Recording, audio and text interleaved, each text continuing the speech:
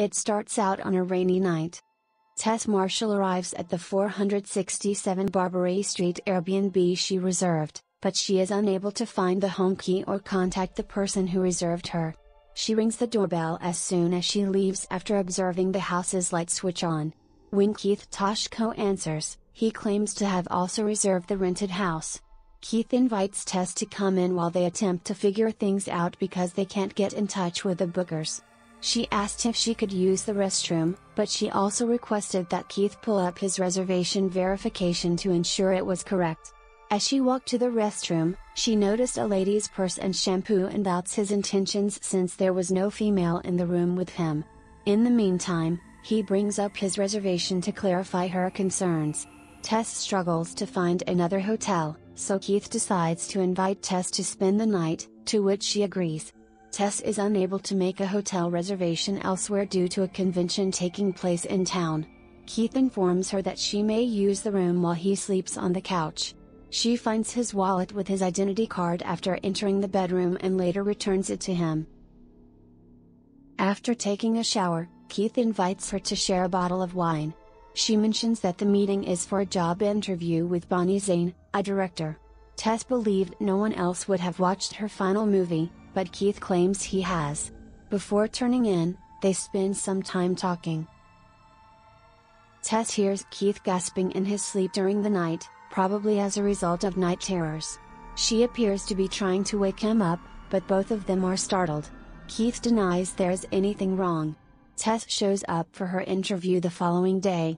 She is taken aback when she comes outside and notices how the houses around the Airbnb appear to have been abandoned and are in disrepair. Tess then heads to the cafe to meet Bonnie. When Tess discloses where she is lodging, because it's a dangerous area, Bonnie advises her to leave. But she paid her no mind. When Tess approaches her rented house again, a man named Andre chases her down and orders her to leave. She got scared and managed to get inside the house. Despite feeling a little uneasy, Tess carries on with her plans and eventually goes to the basement. She leaves her cell phone on the dining table as the door shuts behind her. She next discovers a rope fastened to the wall and a hidden underpass. Tess enters the cave briefly after some initial hesitation. She panics when she discovers a chamber with a bed, a camera, a red fingerprint on the wall. When she returns to the basement, she notices Keith outside and asks him to help her escape. Tess describes what she observed to Keith and urges him to leave the neighborhood. Keith goes to investigate in an effort to assure her that nothing is worrisome down there. After some while, Tess descends the stairway in search of Keith. She can hear Keith yelling and pleading for help. And a stairway leading further down. He claims that something bit him when Tess discovers him in the tunnel. A terrifying naked humanoid beast known as the Mother emerges before they can flee and crushes Keith's skull until he is lifeless before roaring at Tess. After an unspecified period of time, Screenwriter AJ Gilbride receives a phone call from his co-workers while he is on the road. They inform him that due to a woman's claim that AJ sexually assaulted her, he is no longer working on their most recent project. Although he insists on his innocence, thereafter his accountant withdraws as a client. Later, when AJ goes out with a friend, he almost openly admits that he forced the woman into having sex. Afterwards, AJ travels to Detroit and rents a house, which further happens to be the Barbary residence. Once there, he discovers Tess's suitcases. He believes someone is probably staying there due to items he found. So he entered the basement to look around. The mother finds him and pursues him before he plunges into something of a pit in which Tess is also being held captive. Rewind to the 1980s, when Barbary Street was crowded with people. Frank, a resident of the same home, visits a store to buy baby supplies.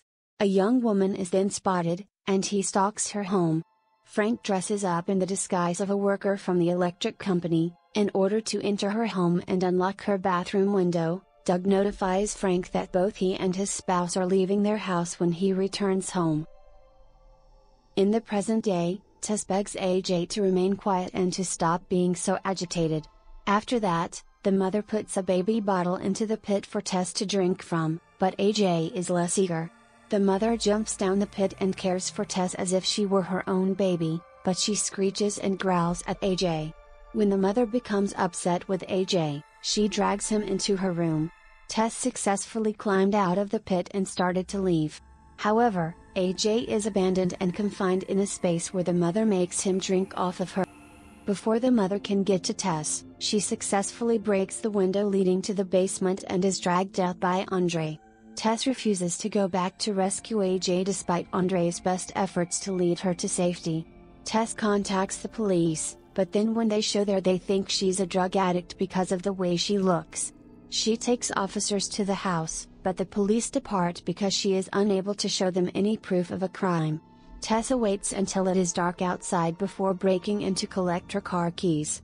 The mother appears as Tess enters into her car and attempts to break into it, but Tess slams into the exterior of the house in an attempt to kill the mother, only temporarily knocking her out. Frank is bedridden and on the verge of passing away when AJ enters the room. AJ views various recordings that Frank has collected over the years of the women he has molested. Frank takes out a revolver and fires himself in the head as AJ calls him out because of how terrible of a person he is. AJ leaves the room after grabbing the weapon. Tess is back there and calls to him, which causes AJ to become alarmed and fire. Despite having been shot in the stomach, AJ assists Tess in leaving the house. Tess notices that the mother is not where she was when they first arrived outside. She claims to be aware where they can flee, telling AJ. Tess takes AJ down to the water's edge, where Andre had instructed her to seek refuge. He informs them that Frank was the property owner and was probably the source who hired the victims. The mother is a result of incestuous rape which has been occurring in the home for more than 40 years. He would abduct women and rape them, producing offspring that he'd also rape. Andre is sure she can't find them, but his certainty is swiftly dispelled when the mother appears, pulls off his hand, and smashes him to death. Tess and AJ flee for escape and climb a water tower. Just as the mother begins to approach them, AJ drops the pistol. AJ believes he can turn things around and protect them both. He snatches Tess and hurls her from the tower because he knows the mother will pursue her alleged baby out of instinct. AJ descends and discovers the mother appearing to be dead. As AJ tries to explain what happened to Tess, the mother rises again, gouges AJ's eyeballs out with her fingertips, and then splits his head in two. The mother then scurries over to Tess, who has already grabbed the pistol. Before she fires the gun, she has a faint expression of sadness. Tess then stands up and leaves the location to seek medical help. The movie comes to an end here. What are your thoughts on this film? Please let us know in the comments section below whether you liked it or not. As always, thank you for watching, and if you enjoy this video, don't forget to hit the like and subscribe button. Take care and I'll see you in the next video.